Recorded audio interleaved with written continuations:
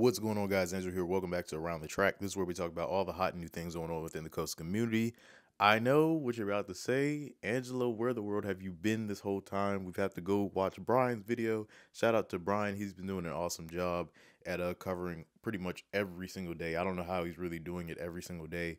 I cannot get up there because I've been working pretty much 60 hour weeks uh, since that last video that you all saw. With that being said, let's go ahead and talk about uh, what's going on. As you all know, they have completed at least one inversion now, and I'm really glad to see that they got that done right before the announcement because that's going to be literally in I think two or three days. So I think Wednesday is the announcement. I'm actually recording this audio July 29th at 5:32 a.m. And this footage is going to be from July 1st. So that tells you how busy I've been. I haven't even done, I was supposed to edit this video like literally when I got home and I just didn't end up getting it done. And then procrastination, procrastination. So this is the footage that you're going to get. And then you're going to get another video probably either later today or tomorrow um because I will be off tomorrow so I'll be able to get that footage uh of today. That will probably be the last update before they do the announcement. After the announcement, I will make a video just regarding everything, the speed and what all is coming because it's going to be a lot. With all that being said though, I'm going to let you all see what's going on outside of the park. This is again, this is from July 1st. Once you all see that footage, I will talk about pretty much everything that was going on inside the park. Like I said, this is old footage, but I still wanted to get it out and for you all to at least see my coverage of it. So yeah. Okay guys, man, I know it has been a while. Today is Monday, July 1st, 2024. So as you can see, they gotten track all the way down here now. I'm gonna definitely get some shots, but I'm gonna go ahead and get over this fence really quick. Let me, uh, all right, so these pieces are now curved. So these are some more pieces that are probably gonna be going, not on the launch, but this is gonna be actual parts of the ride. I mean, they're all parts of the ride, but you get what I mean. So we're gonna walk down a little bit. Um, it does seem like it's kind of packed today, but that's also because it's July 4th weekend. These pieces of track are gnarly, yo. Way bigger in person than they may seem on camera, but we're just gonna kind of walk along the way here. I'm not gonna go on that side, but I will zoom in so you all can see. Uh, notice some more pieces over there. They're really lining up. Yeah, supports over here. Stuff laid out everywhere.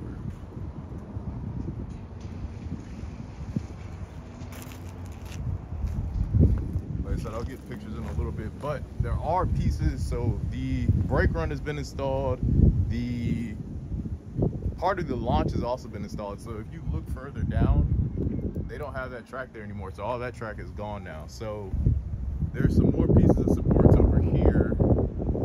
And then, like I said, they kind of lined up uh, parts of it. They just arrived actually today too. I saw the picture of uh, somebody showing the truck was on the way.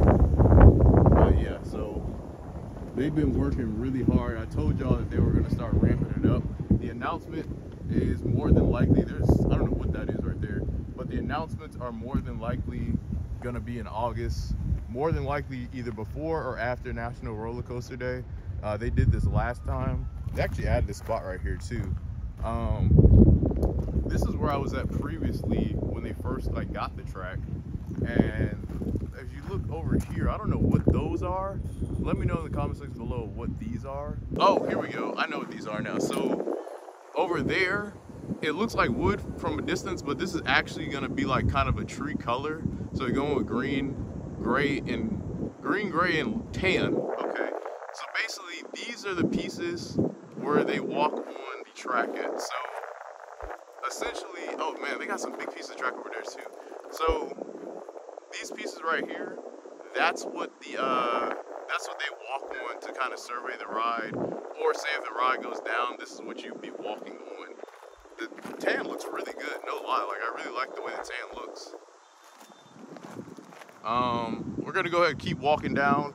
This is a nice little stretch here that they got. Uh, I always come at this later hour because it's so hot during the day. Uh, the other day, actually, it literally felt like I was in Texas. Like it was so hot. So they got some more pieces over here.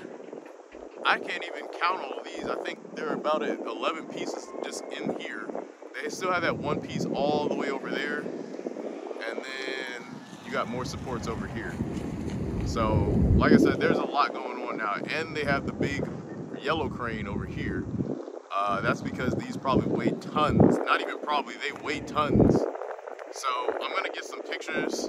Uh, like I said, this one's gonna be update because I have to take pictures and also go inside the park. They're actually teasing, they're doing teasers now, so that tells me it is almost that time for the announcement of the name of the ride as well as all the elements and everything in between. I'm very excited for the announcement. Hopefully I get to go to media today, but we will see, we will see. Only time will tell. But I know you all are enjoying these updates. I try to do mainly like 10 minute updates at this point because too much is happening for me to come up here every single day. So I can't just come up here every day when I have to work every day. So it'd be really hard for me to do all that. So I'm definitely gonna get some wide angle shots because these pieces of track, like I said, they are really big. Um, I think honestly, they may be taller than me, like no lie. This is looking like this is actually six foot. Like this piece right here, it looks like it's over six feet. Jeez. Oh, I'm so excited, man. This is gonna be awesome.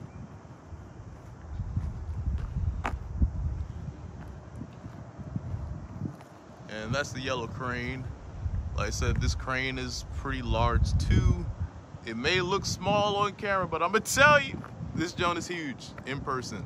So what I'm gonna do, like I said, I'm gonna head inside the park after this. I'm gonna get some pictures and I will talk to y'all then. Okay guys, so just finished filming outside the park, but I wanted to give a shout out to Brian and Brandon. Nice meeting you guys, really dope people. Uh, we just had a nice little conversation about coasters just now, uh, going inside the park. Really quick, they actually added some sunshades over Outpost Cafe.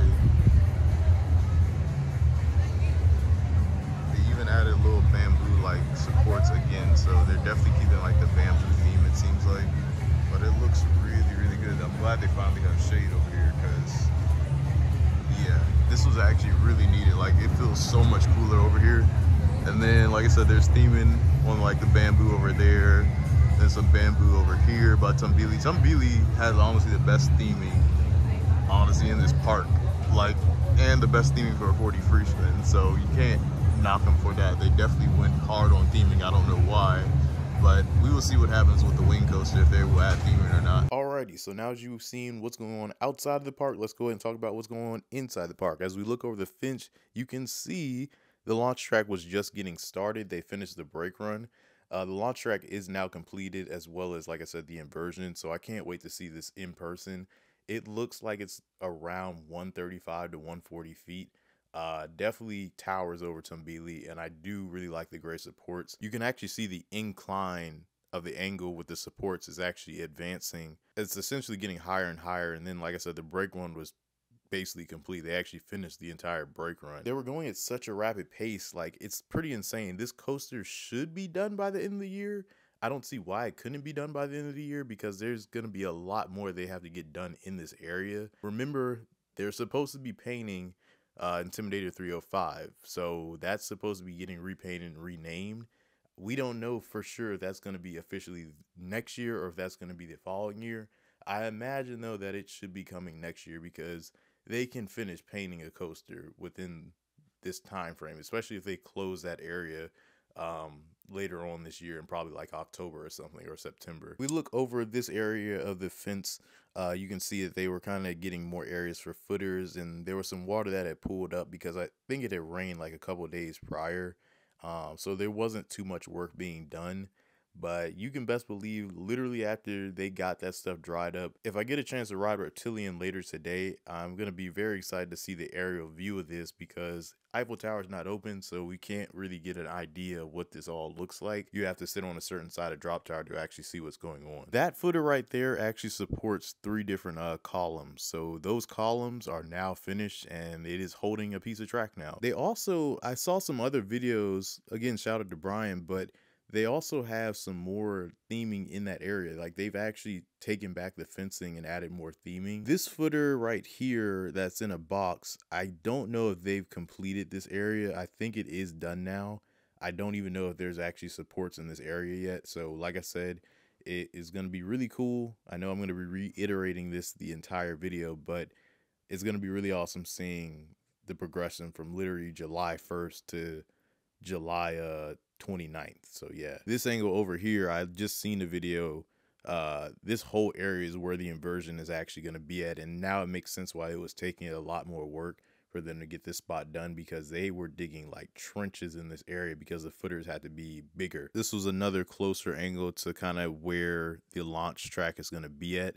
So it's essentially a straight line. Again, it's going to be angled up. And they did have a uh, John Deere vehicle. So yeah, I don't really want to talk too much in this video, mainly because there's not much to talk about. Like I said, the next video that I make is going to be the real video. This one's going to be everything. So this shot right here, really glad I got this shot. This was by like Flight of Fear, but you can actually see the brake run as well as the launch. And then within this shot itself, looks really cool seeing uh, where the, the, the brake run is by Flight of Fear and then the launch is going to be going away from Flight of Fear. So the station, I'm very intrigued on what the station is going to look like. Apparently now there's not going to be a pre-show anymore due to budgeting, which really does suck. I hope they change that decision in the future because they do still have time to do so. I forget what you call the tan piece. I guess side steps. I, I forget the actual name, so let me know in the comment section below. But they did install a couple of those sidewalks or the side steps uh, on the outside on the outskirts of the track. The rest of the video, I'm going to kind of let you all watch and just enjoy it. There is a bonus clip at the end of the video, so stay tuned for that. Uh, the track literally had just arrived right when I was leaving, I was like, oh my gosh. So you'll see that clip later on. Don't forget to like, share, subscribe, and until next time, peace out.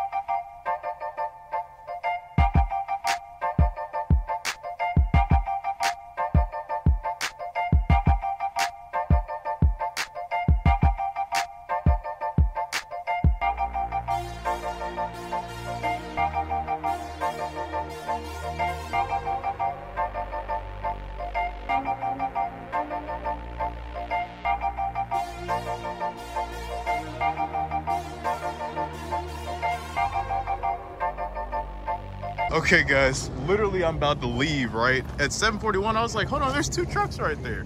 They're over there. Look at that. Two trucks just freaking arrived, man. They are not playing over here. I literally was about to head out. That's the great uh, supports. There goes Dominator. And then there's some ports actually right here, so I'll let y'all see those. Yo, this is crazy.